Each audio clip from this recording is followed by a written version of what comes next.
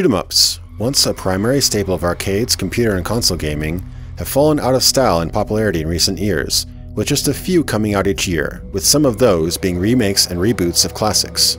Gradius, Raiden, R-Type, Life Force, there are so many shmup franchises I played and love, and only a few modern games that really match the quality of the oldies, as they were the equivalent of state-of-the-art AAA games of their genre at the time. There is one game that you probably have not heard of that was the pinnacle of shmup design in my book. It excels in customization and depth, and while possibly not as elegant and challenging as later games such as Ikaruga, brought everything to the table that I wanted in this type of game. This is Indigo Gaming, and I will now make my case that Tyrian is the best scrolling shoot 'em up ever made.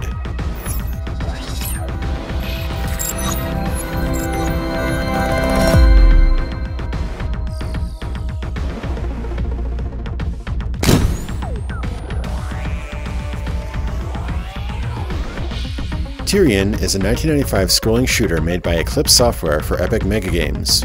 At first glance, it looks just like any other top-down shooter of the era, featuring a wide selection of guns and enemy types across many different levels, maps, and worlds. As you get deeper into the game, however, you'll begin to see what makes Tyrian so special. You can play the game like any standard arcade-style shmup, where enemies will drop score bonuses, weapons, and power-ups, all the while aiming to get as far as you can on the amount of lives you muster while getting the venerable high score. Dodging projectiles and oncoming ships while seeking out your favorite weapons and upgrades in each stage, arcade mode is proven, old school shoot 'em up goodness. Where the game really shines, however, is the story mode, where each game session becomes a long-term investment where you can save and load progress in your campaign, featuring branching paths, part stores at each location, as well as collectible data cubes which provide story and background. Here, instead of score, you get credits for buying new ship parts and modifying it to your heart's content. This sort of system has been done in a couple other games such as Raptor Call of the Shadows, but none did it so well and so full of depth. Ship customization is pretty crazy. You can buy new ships, front-facing guns, rear-facing guns which often have two different modes you can switch between on the fly, shield modules, power generators, and two separate sidekick modules, which can often be fired separately from your main guns. Some sidekicks use slowly regenerating ammo. You can also purchase 11 levels of upgrades to your primary weapons, which dramatically alter their behavior with each step. Another interesting mechanic is the fact that your ship has a separate shield meter and armor meter. Armor is your actual ship's durability, which can be upgraded by purchasing higher end ships. Shields are your first line of defense against collisions or enemy fire, and once shield is depleted, damage is dealt on armor. Once your armor is gone, your ship is destroyed. Armor can only be restored by picking up armor repair kits, whereas a small portion of your energy is transferred to shields every time energy is full. Energy is also spent on firing weapons, so if you over-upgrade on your offense and incessantly shoot without giving enough downtime for your generators to build up enough energy for later gunfire and shield restoration, you can become energy-starved and vulnerable to destruction. This is an interesting balancing of resources that is present in few other games in this genre, if any. All in all, this game features an incredible amount of customization, resulting in nearly 20 million combinations of fully upgraded loadouts.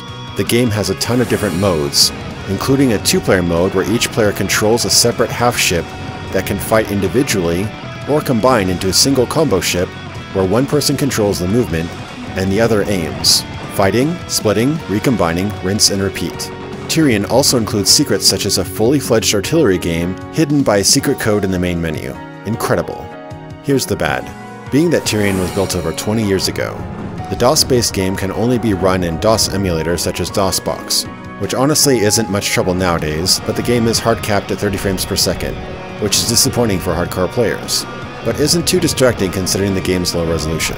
Another annoyance is that in a 1999 re-release, a fifth episode was added, but some annoying food-themed items and levels were added too in an effort to promote another game.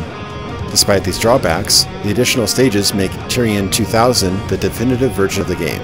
The good news is that the game, its code, and its soundtrack has officially been released as freeware.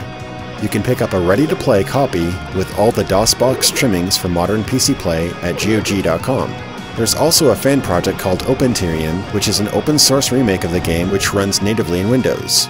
Your mileage may vary with this version, as it didn't run flawlessly on my PC, and it does not include the fifth episode, but features like an improved frame rate and upscaling options make it absolutely worth trying out.